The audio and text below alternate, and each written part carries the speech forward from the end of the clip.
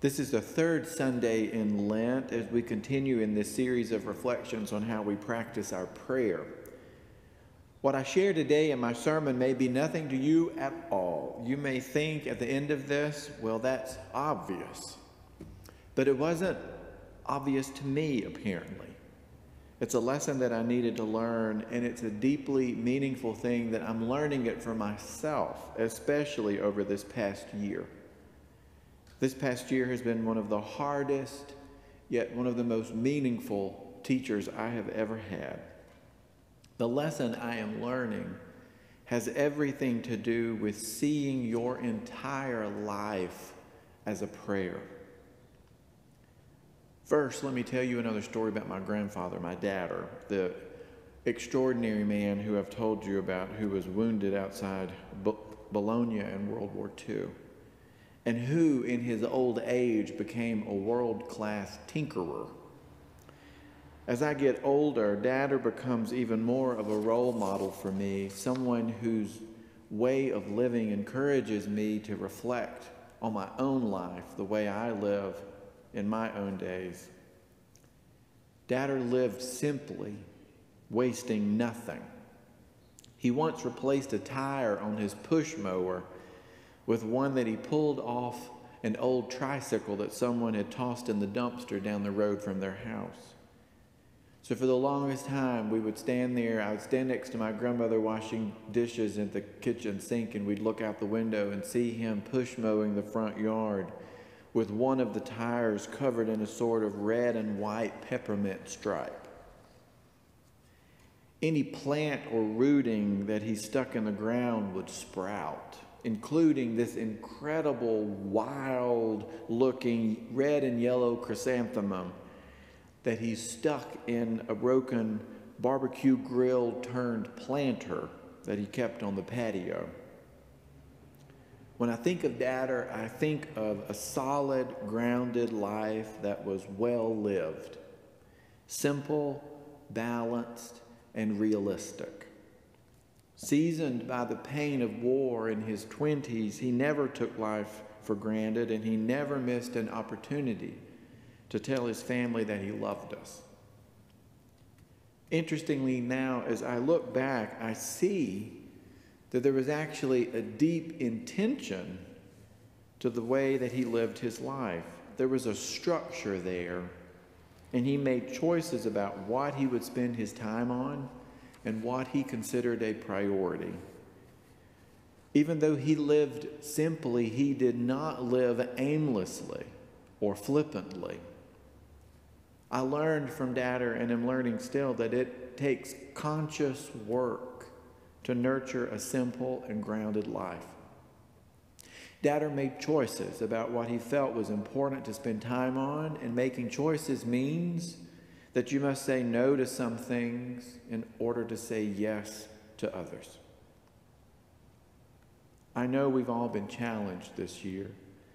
I think of my fellow parents, especially being taken out of our normal routines with school and activities and sent to our homes. We have realized that the adage, it takes a village to raise a child, is very true when we lose our wider support structure like teachers, coaches, piano and gymnastics instructors, and troop leaders, and we find ourselves working with our kids on projects and doing math that has more letters in it than actual numbers. It has been stressful. And I only hope that we come to appreciate all the people in that wider village that are helping us raise our children when we get on the other side of this. Maybe we will never look at teachers the same way again. Maybe we'll appreciate them more. Or physicians and nurses or grocery workers. I think about the choices that were taken from us, as it were, during these days and the other choices we struggle to make. I think of the older members of the parish with health concerns who took on the lives of hermits in many ways just last week, I was talking on a Zoom call with my friend Father Garrett from Mepkin Abbey outside of Charleston, who said, The pandemic has made Trappists of all of us. We have all tested the waters of a more cloistered life, and we have all seen and been challenged in an awareness of how we are invited to make choices.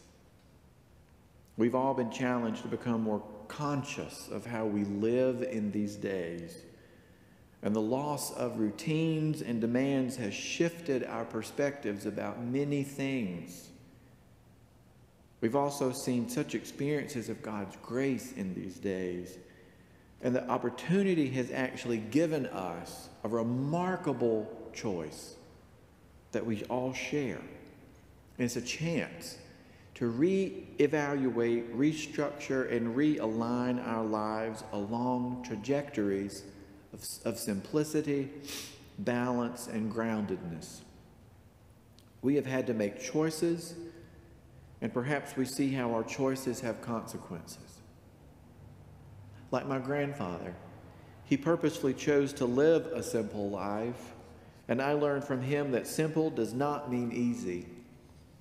Saying no to the stress and the busyness meant that he had more time to spend with us, time to support us, time to work in the garden and grow food, time to live in a way that gave him joy, time to teach me how to drive in an old brown Chevy pickup truck down the dirt logging roads. He said no to busyness and he said no to getting caught up in having to have the shiniest and newest thing. He had no interest in keeping up with the Joneses, as it were. He would bring them fresh tomatoes that he grew in his own garden, and that brought him joy. Dad structured his days intentionally, just as we are being invited to do not just during this year, but actually at any moment, at every moment of our lives. This conscious structuring of our life is what we call discernment, making decisions that are rooted in an awareness of God's presence and guidance. In order to do this, in order to nurture such an intentional life, the wisdom of our Christian tradition that we share with other faiths is that we need a framework, some form of a faithful boundary that lays out a pattern of where to walk, how to stand, and how to act in life. We see such a call to an intentional life in so many of the Psalms. Like in Psalm 20, in Psalm 86, in this portion of it, where it says, Teach me your way, O Lord, that I may walk in your truth. Give me an undivided heart to revere your name. With this portion from Psalm 25 Make me to know your ways, O Lord. Teach me your paths. Lead me in your truth and teach me. We're reminded that our practice of faith is so often understood as a path. And on paths, you have to learn where to step and where not to. As they were journeying in the wilderness for so long, Moses realized that the Hebrew people were going to need structure to nurture their practice of faith. They weren't only wandering physically, they needed holy boundaries to help them discern how they should live and how they should act. That realization is the deep wisdom of what we call the Ten Commandments. These are not mere rules to follow. Rather, they are a deep wisdom teaching steeped in the awareness that we need a holy framework, something that helps us make conscious decisions about life, something that helps us discern. Don't step here, step there. I believe that so many of the ten are framed in the negative because we are human and so often fall short and miss the mark. We call that sin. It's like when our kids were first able to walk around the house and needed guidance on how to move in this world. Don't step there, step here. When they first reached for an outlet or a cord plugged in the wall, we didn't sit them down at age two and explain the physics of electricity to them. We told them, don't touch that outlet. As they grew in their wisdom, they built off of that instruction of where to step and where not to step. The Ten Commandments offer us such guidance on how to walk the path of our practice of faith. There are infinite ways of loving your neighbor, but let's start by agreeing not to kill them. That feels like a good bottom line to start with. There are infinite ways to share a friendly relationship with others in your community, but let's agree not to steal their stuff or their spouse. There are infinite ways of honoring God, of showing our devotion to God, but first, we must set out the boundary that it will be God alone whom we worship. That means, in order to say yes to this worship of God, we are saying no to the temptation of worshiping anything or anyone else. And that includes all the stuff of life that the wider culture wants to convince us is so important. And it includes anyone, anyone who acts as though we must worship them. Our loyalty is to God alone. The guardrails help us manage the path before us. Friends, this is why Jesus got so angry in the temple that day and turned over the tables that we read about in our gospel lesson. He got so angry because the temple authorities had taken wrong steps on the path when it came to the intersection of cultural norms around money and the call to worship God alone. Jesus was saying it shouldn't take that many steps to convert this type of coin into that type of coin, with, of course, some taking a cut of interest along the way, in order to give your offering to share in God's loving kingdom. It shouldn't be that complicated. Jesus flipped the tables over to shake them out of the illusion. Like a great Zen master, Jesus, the spiritual teacher was waking them up and challenging them to see the point that we are called to worship God alone with our whole hearts, minds, souls, and bodies. Walk here, not there. Here's the thing I'm learning. For so long in my life, I thought of prayer as something that I did. Say your prayers, we were taught, and this is true. It just isn't the whole truth. And I need the whole truth these days. The wisdom of our tradition isn't just say your prayers.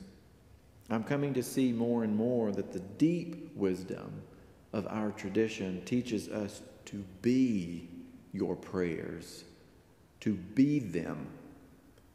Be a prayer in your whole life.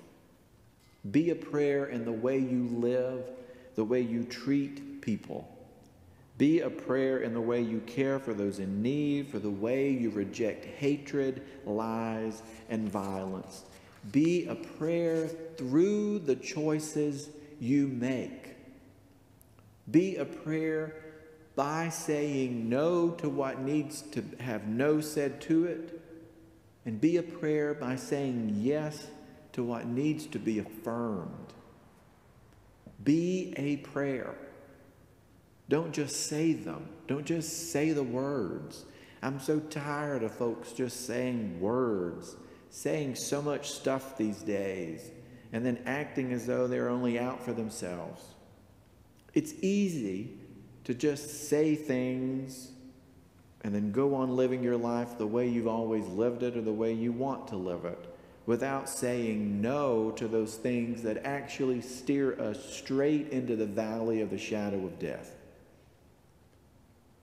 If we don't see our Christian faith as a path, as a practice that actually it should change the way we live in the world, if we don't see that, then we're doing it the wrong way, to be blunt. Jesus wasn't shy about telling folks that discipleship costs. Lay down your lives, take up your cross, follow me, he says. As followers of Jesus, perhaps we begin to see that our entire lives are meant to be transformed into embodied prayer that bring hope and peace to a struggling world. Amen.